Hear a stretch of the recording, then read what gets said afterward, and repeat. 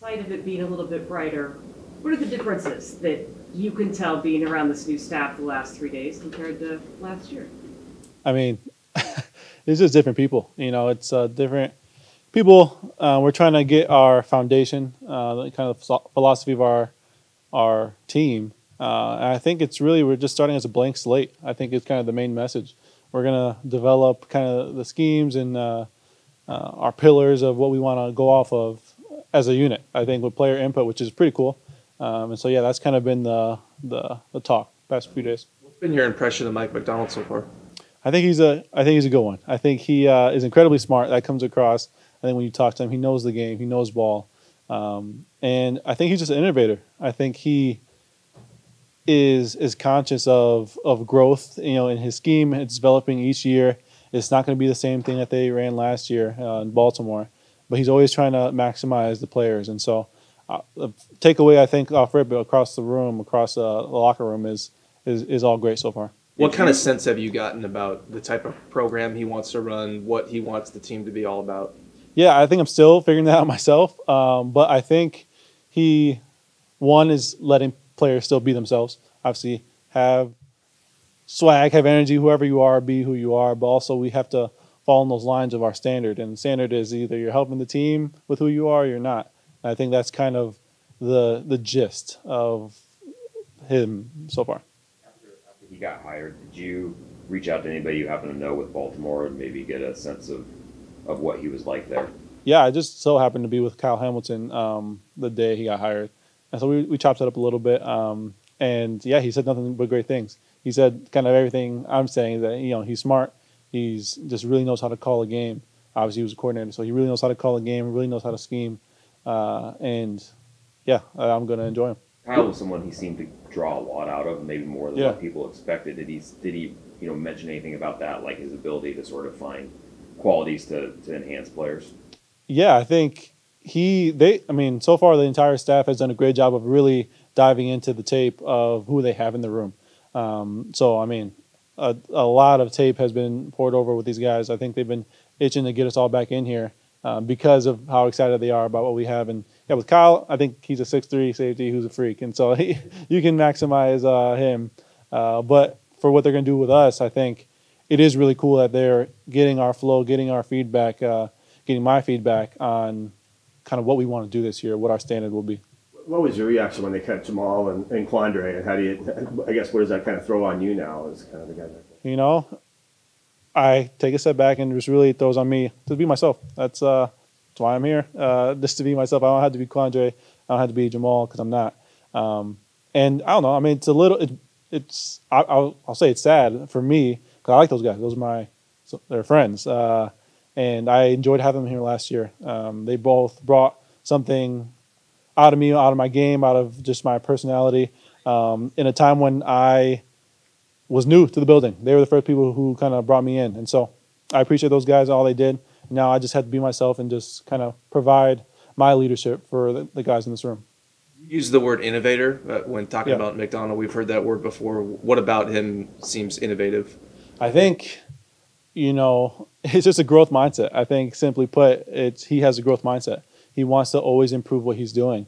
Um, he wants to improve our team. So year to year, in year out, it won't be the same. Um, you can tell he's always looking to get that cutting edge um, out of the game because the game's changing, players are changing, and scheme and style has to as well. And I think you kind of get that sense. Um, but he's very intentional, I would say, is the main thing. He's super intentional what he says, what he means, um, and how he goes about things. And so that's been great to see so far. Julian, what if you got to know Leslie Frazier? What have your impressions of him first? Yeah, I haven't gotten to know him super well, but we had a few conversations. Uh, and I mean, that's a guy who's been around the league, who uh, I think appreciates my game, um, who's been around some good guys that I kind of want to emulate uh, in certain aspects of my game. And he's a guy who I think is good to have in the room. Um, he guys, he's a guy who knows ball. Um, we have some young coaches, and he's a guy who has that experience. And I think that balance is really cool with having him in.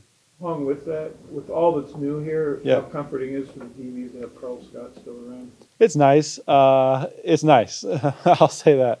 Um, there's some, you know, familiarity. Uh, obviously, he knows our personalities and kind of knows how we go about things, um, and he's a good one uh, for sure. It's it's tough. You know, a, a lot of these guys haven't gone through coaching changes before. Um, I I don't know what you want to say about it. I have, um, and so it's I they can lean on me. I can lean on them just for all that insecurity that might they might feel. Um, but so far everything's been good. What have you learned from? I mean, what is it that you now take away when you made the coaching change? You know, how do you come in? Is it listening, patience, compassion, any of those? I think a lot of yeah, listening, patience, compassion, it's like you compassion, like you said. But I mean, expectation. I think you have to understand that it's a blank slate. Um, these people are making impressions off of you. The tape is the tape, whatever your football, but they, you know, they're learning your personalities, and so you have to be okay with that. and everybody comes in, and uh, you know, you have to understand who they are as well. I think that's the first thing I feel is important if you want to go to where we want to go is that sense of mutual understanding, player to player, coach to coach, player to coach. Um, and so I'm just stressing that to the young guys is taking everything, write down, everything, because everything's important right now. You got to know where they're from, what their family situation's like, so we can really mesh as quick as possible, hit the ground running come training camp. Sounds leadership role you've taken. What kind of leader have you been, and are you going to be, and you continue to be? Yeah, I think I'm. Uh, I don't know the right word. Uh, I think I'm a intention. No, you're good. I'm an intentional leader, I guess. Uh, weird as it sounds, I feel like I'm inti- intimate leader. I'm not a guy who's gonna, you know, hoot and holler in front of uh, the group. That's not me. Uh, I'm pretty collected, um, and I just want to say what it is and what it isn't for our guys. Um, I think that sense of accountability obviously has to be there, but then the flip side of it is I want to create a culture where we're gassing each other up and just as happy celebrating next person's success as your own. I think that's kind of my goal uh, and my leadership style. Um, and so I'm just trying to adopt that and just be present for our guys here. What's been your initial impressions of uh, Rayshawn, and how do you think your guys' skills will complement each other? I think we're going to complement each other really well. I think personality, we complement each other well. Um, and like you said, on the field, uh, so far he's been great. I mean, he's a guy who's a vet. Um, going on year eight, I think.